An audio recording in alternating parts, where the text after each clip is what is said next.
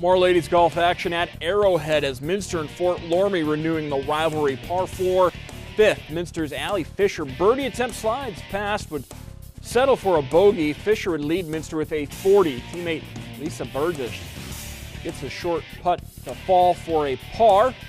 Fort Loramie's Emily Knopf with the birdie putt. Perfect read right. Speed, a 38 for Knopf. That would take medalist honors. Next group, Minster's Taylor Homan. Great drive helping set up the birdie attempt. Settles for the par as Minster gets the victory over Fort Loramie 181 to 205.